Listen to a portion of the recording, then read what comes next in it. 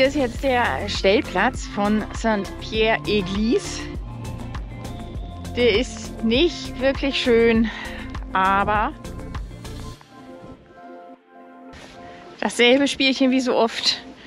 Wir versuchen mal wieder Frischwasser zu bekommen. Es gibt Wasser. Und jetzt ist der Tank voll.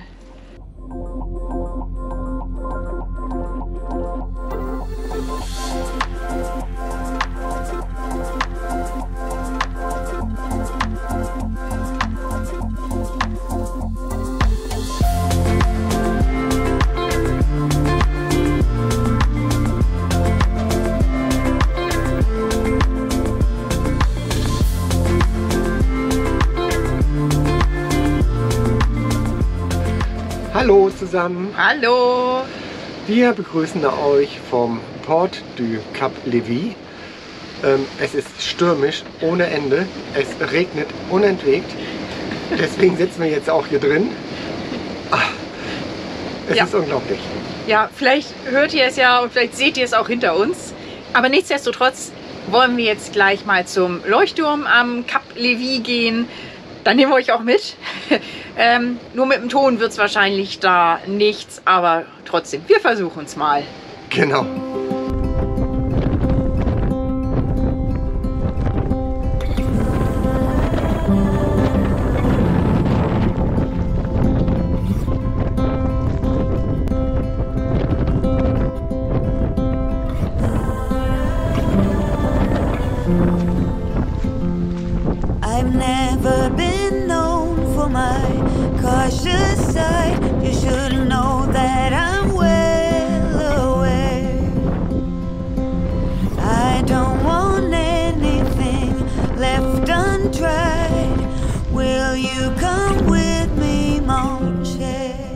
Das ist der Leuchtturm I'd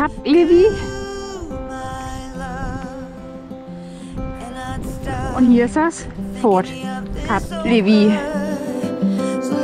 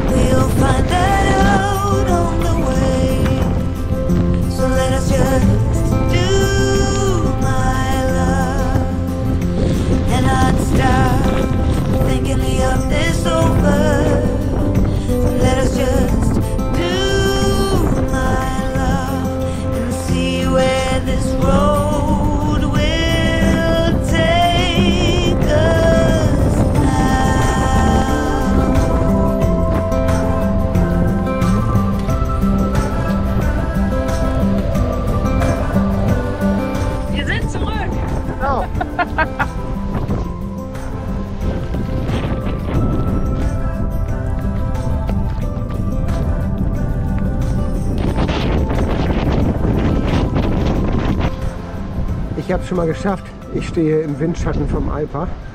Und Maike kämpft sich noch gegen den Wind und gegen den Regen.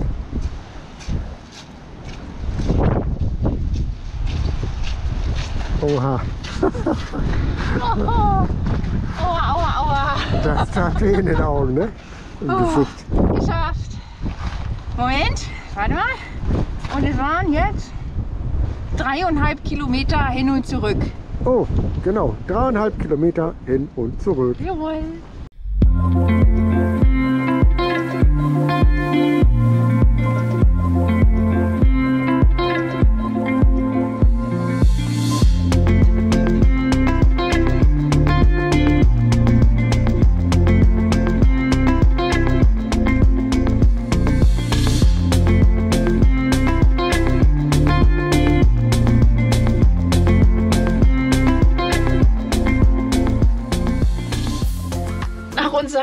Kleinen Wanderung zum Leuchtturm sind wir jetzt doch noch weitergefahren. Es war da unten auf dem Platz am Hafen einfach so stürmisch, das äh, war schon unangenehm.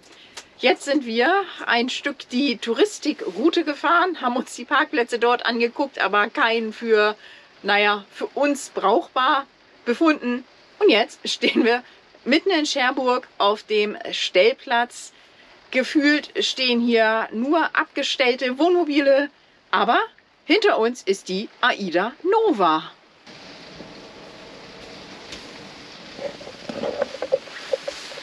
Und sollte das Wetter noch mal besser werden, dann zeigen wir euch den Stellplatz noch mal und auch die Umgebung. Aber heute gehen wir nicht mehr raus.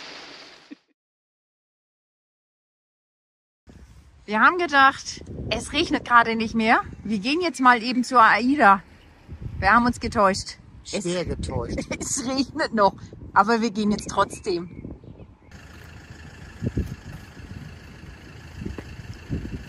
Hier stehen wir jetzt vor der Cité de la Mer und rechts davon die Aida Nova.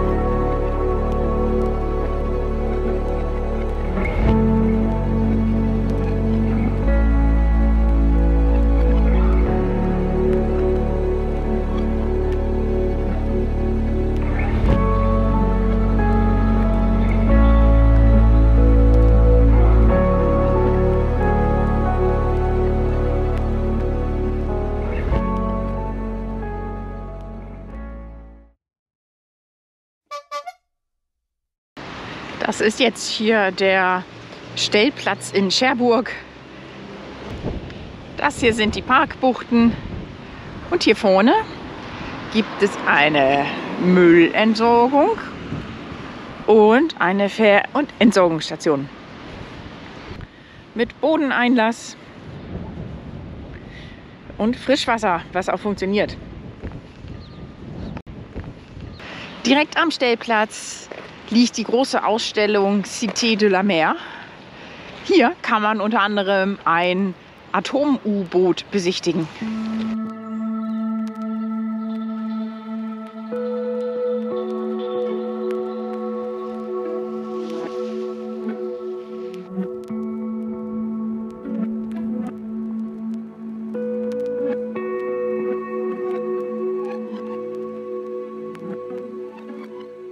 Guten Morgen. Guten Morgen. Wir begrüßen euch aus Cherbourg. Ach, ja, wir haben die letzte Nacht hier schon auf dem Stellplatz übernachtet. Der ist wirklich unruhig, da halt an der Hauptstraße liegt. Ähm, und jetzt sind wir hier an der Cité de la Mer. Hinter uns sieht man dieses große Atom-U-Boot, was man hier besichtigen kann. Das werden wir nicht machen. Genauso wie wir auch Cherbourg nicht besichtigen werden, denn es ist für heute extremer Regen und vor allem heftiger Sturm angesagt. Wir werden jetzt gleich mal zusehen, dass wir einen anderen, schöneren und geschützt liegenden Stellplatz finden. Ganz genau. Ja, und jetzt ähm, das U-Boot hier hinter uns. Hier waren wir gestern Abend einmal ganz kurz. Hier lag ja noch die Aida Nova. Das ist schon ziemlich verrückt. Hier Ja. liegt das Atom-U-Boot und daneben die Aida. Ja, da sieht man mal die Größenunterschiede. Stimmt.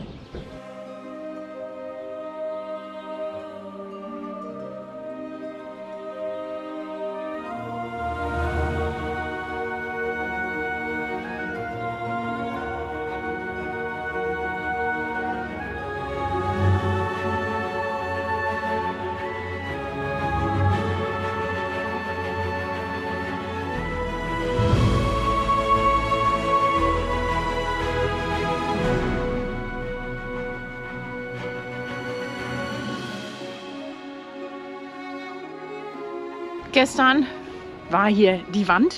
Also gestern war hier die Aida Nova. Und jetzt blickt man hier ins Hafenbecken und sieht ein paar Angler. Schon verrückt. So, da hinten kommt das schlechte Wetter und wir gehen jetzt zurück zum Alper.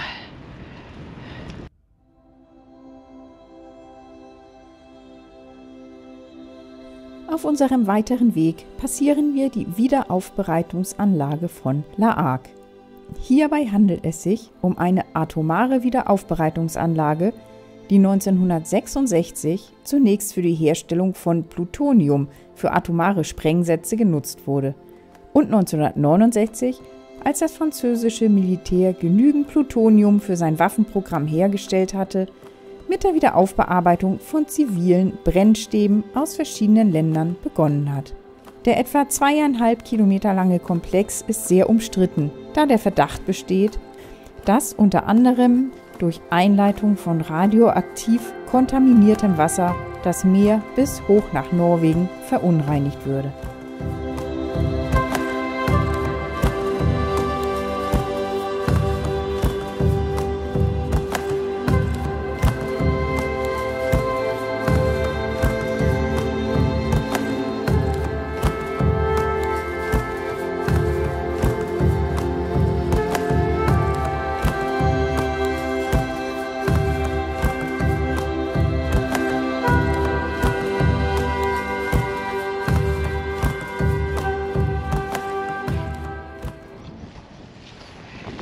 Wir stehen jetzt hier auf dem Parkplatz am Neste Joburg. Ziemlich alleine. Was bei der Wettervorhersage wohl auch kein Wunder ist.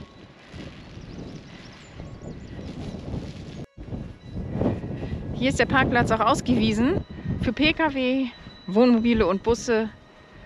Und hier geht es nochmal auf eine Parkfläche, wo das Parken über Nacht, nämlich von 23 bis 7 Uhr, verboten ist. Und hier, wo wir jetzt stehen, gibt es keine Verbotsschilder. Und wir deuten das jetzt mal so, dass wir hier über Nacht stehen bleiben dürfen. Wir gehen jetzt mal zum Panoramapunkt. Wir müssen uns ein bisschen beeilen. Wir haben unsere letzten paar trockenen Schuhe an. Das können wir nicht riskieren, dass die jetzt auch noch nass werden. Ganz genau.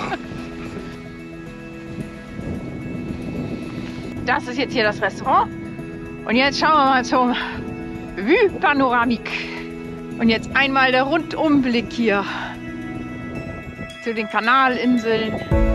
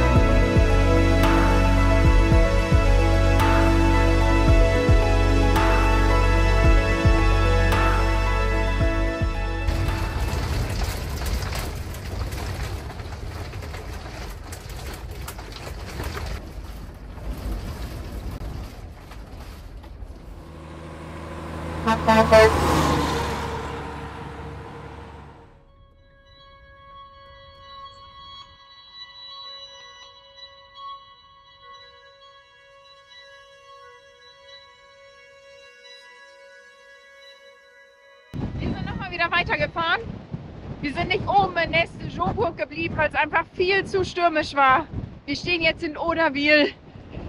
Auch hier ist es natürlich genauso stürmisch. Aber die Sonne ist gerade rausgekommen. Es ist ein Traum.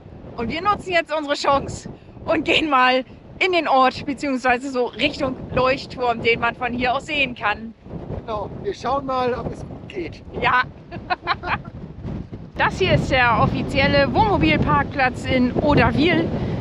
Er ist ausgewiesen als Wohnmobilparkplatz. Man darf hier nicht weiter in den Ort reinfahren.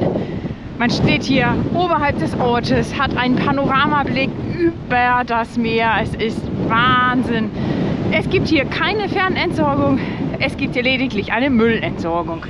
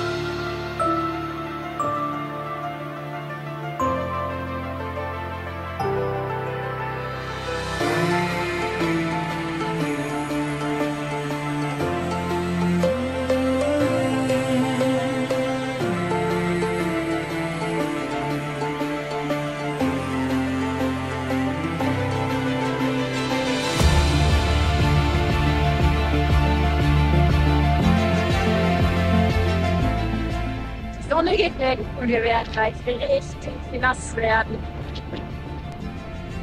Ich glaube, wir beeilen uns jetzt mal ein bisschen. Wir haben genug Fokus.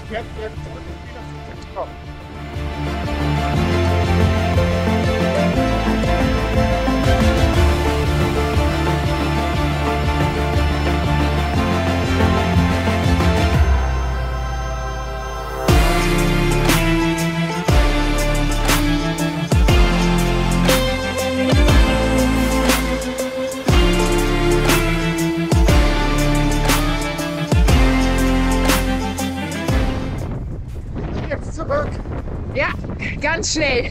Mal sehen, ob wir es schaffen. Jawohl.